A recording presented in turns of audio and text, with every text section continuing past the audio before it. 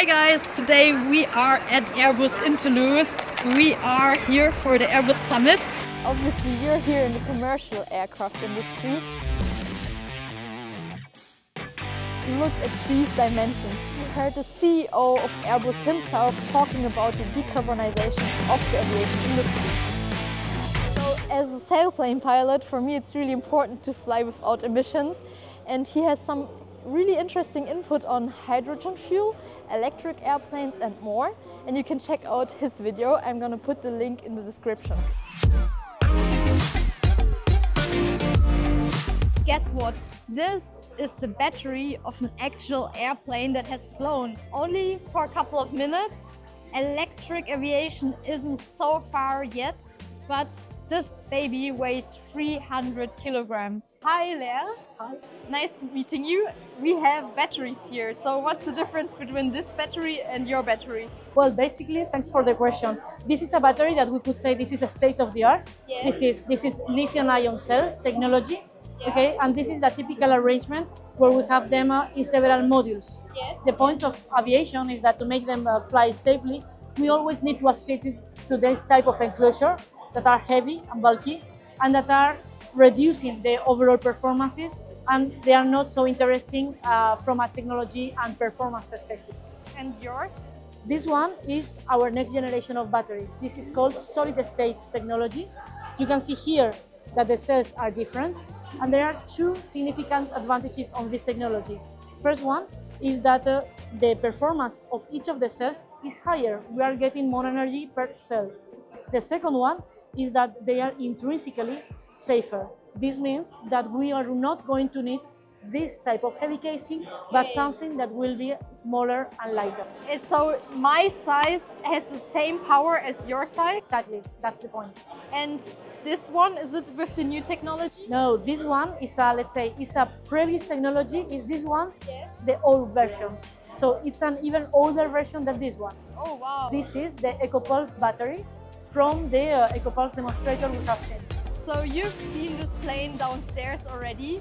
And how long can you fly with electricity right now? Okay, so in this particular demonstrator, we were doing several minutes and uh, let's say quite, I would say quite longer, but it was not the, uh, the objective to go into long ranges or uh, long flights. It was more about exploring the battery technology, what is 800 volt battery, what is distributed propulsion, what's going on, how to use the flight controls in that cases.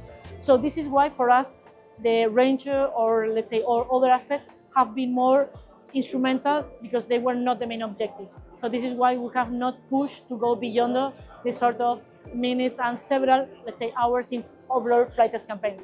Is this battery already included into one of your test planes?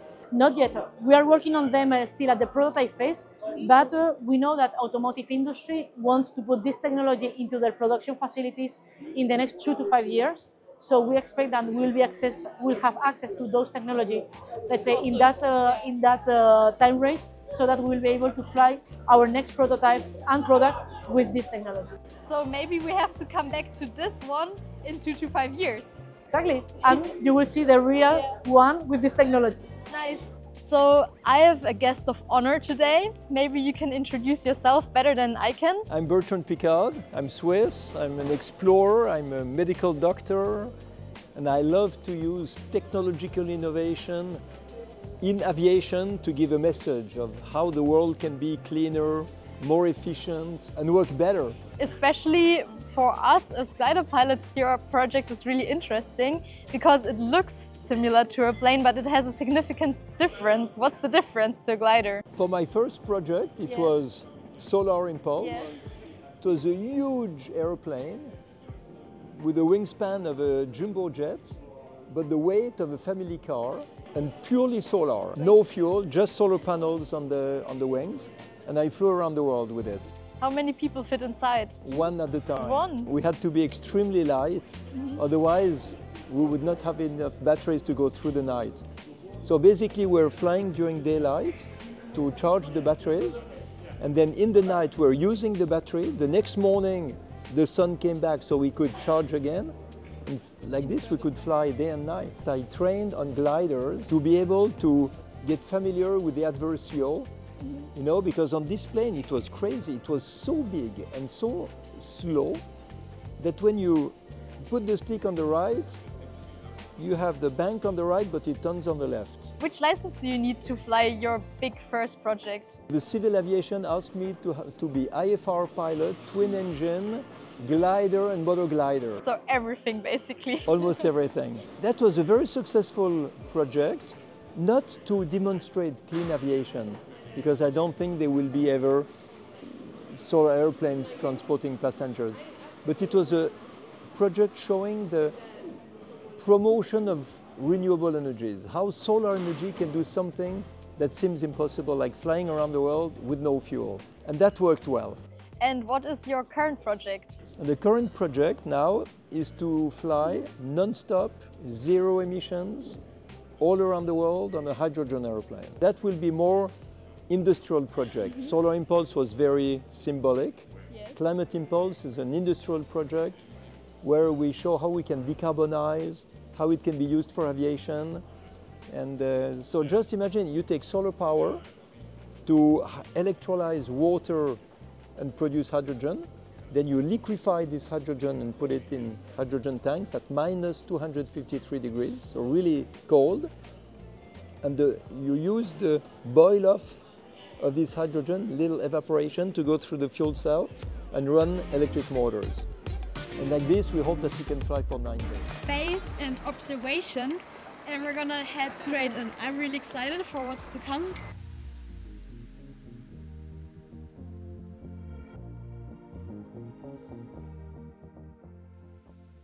The satellites have quite a good resolution, so you could even see the airplanes taking off and landing at those strips. So um, here all this footage was taken with the Airbus satellites.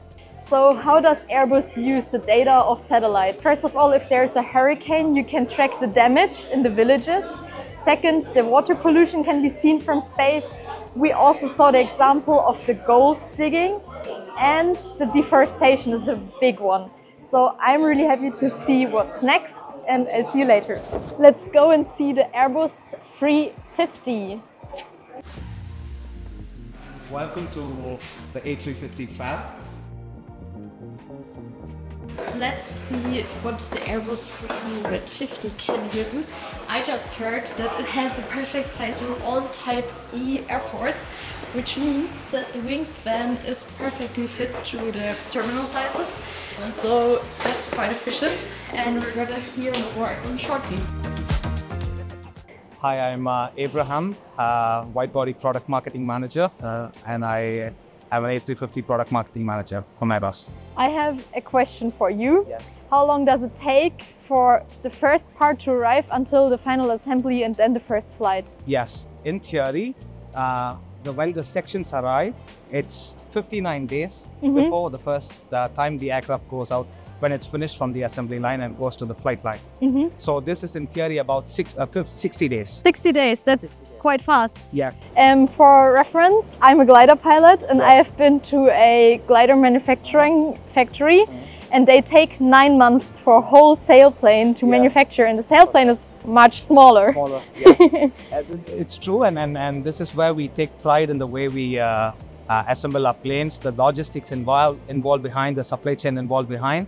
And that's why, in fact, if you look at each station, when we say uh, section 59, that means uh, T minus 59 days before the flight line. Mm -hmm. So this is our target. And then we are now standing at uh, station 40, this means so this airplane in the next 40 days needs to go in the flight line. Where we are right now is the final assembly line. Mm -hmm. We have different sites uh, in uh, throughout uh, Europe and different parts of the world where uh, different parts of the plane are being manufactured and are being brought here, mm -hmm. and the assembly takes place here. Cool. Thank yeah. you so much. It's well. It's a pleasure. Yeah. So I spotted someone in the crowd with an orange suit, and I wanted to ask you, what's your job here? So my job is uh, to be a flight test engineer. So I'm a flight crew flying on board uh, the prototype aircraft at Airbus Commercial. uh, doing the flight test together with the rest of the crew, uh, which is usually constituted from two pilots, a test flight engineer. As the test engineer, do you have a license yourself? I've got a, a private pilot license. Ah, so you're a fellow pilot. yes, uh, which is uh, which is useful for talking over the radio and uh, also understanding the situation the pilots may be in uh, during the uh, the flight in general.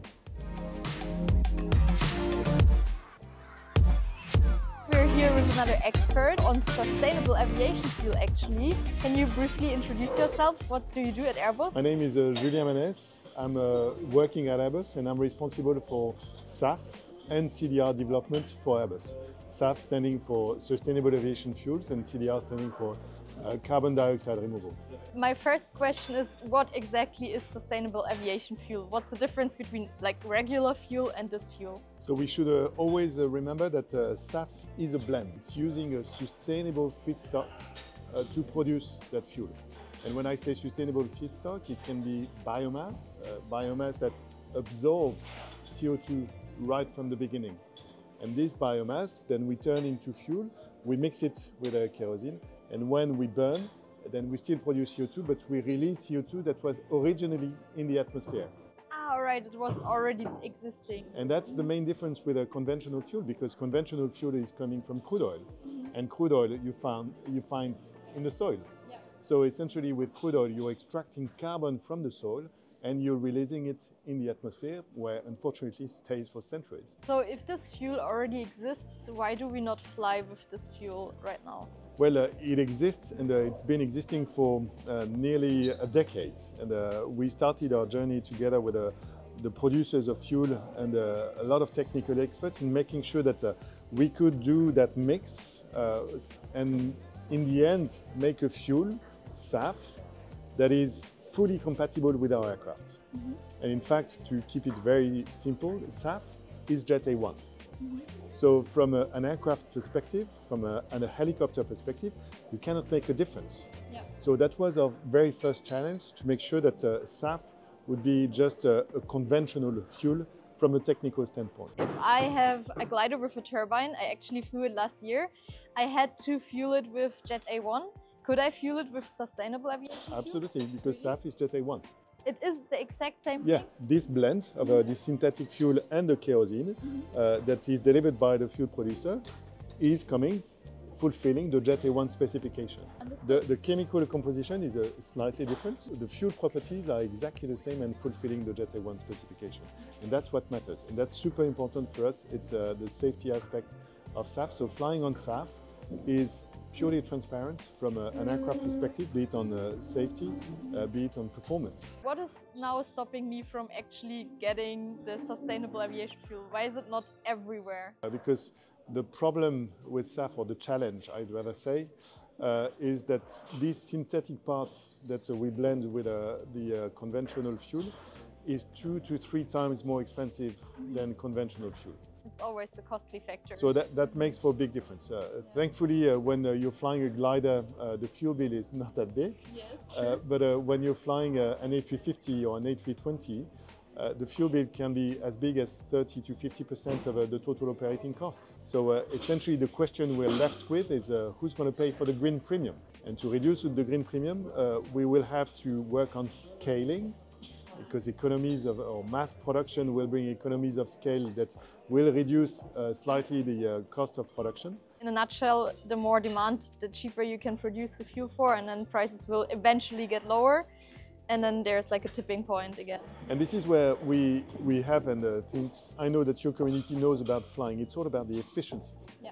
So, uh, what is super important first is to avoid burning unnecessary fuel. And in fact, avoid means, in our case, replace the, the old aircraft, uh, the 747, uh, the old A340s, with brand new generation aircraft.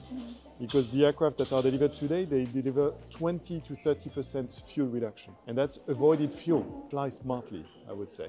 So uh, for a commercial jetliner, it means fly straight. Do continuous descent approach. All those measures, those procedures that allow saving fuel when you can. The more fuel you've avoided burning, the cheaper the SAF bill will be. costs per kilometer, basically. Absolutely. The next thing uh, coming is to use a, a, fuel that is less carbon intensive, and that's where SAF fits in. I'm here with Greg. What's your job at Airbus? I have the privilege to working at Airbus and being responsible for disruptive research and technology and innovation. Therefore, everything what we are going to be seeing in the next next generation of the aircrafts, this is my job. Therefore, it's really the best job I can have. Maybe you can tell me how is AI impacting Airbus and its efficiency or maybe even sustainability? Oh, of course, AI is everywhere. And honestly speaking, for, for us, AI is not just starting today. We are already using AI for years. Uh, and if we talk about the sustainability, we can think about AI already in the development, where, for example, we can accelerate our simulations and then we are getting much more faster to the end results. But also the AI is going to improve safety and also efficiency of our aircrafts. If we think about the next, next generation of the aircrafts where AI and could be also generative AI, together with computer vision, is going to improve the safety and help our aircrafts to be more smarter in the uh, in the operations. So you mean in navigating or in like for me as a pilot, is there an impact or is it for the production or the aerodynamics? This is both. It could be also for aerodynamics. For example, if you looked the one of our demonstrators, extra performance wings, then you need also the sensors which are controlling this extra performance wing. And then with the AI models, you can optimize the performance of this. Uh, so the flaps are automatically adjusted in flight? The flaps are going to be automatically adjusted in the flight based on the conditions and the conditions are measured through the sensors. And because we are using many sensors, you have to have very performance models. Therefore, AI can be the one of the solutions which is going to be optimizing the use of energy on the compute power in order to calculate this. And then if you use AI, you are reducing this energy of the compute and then therefore you can control it better with the less energy consumption.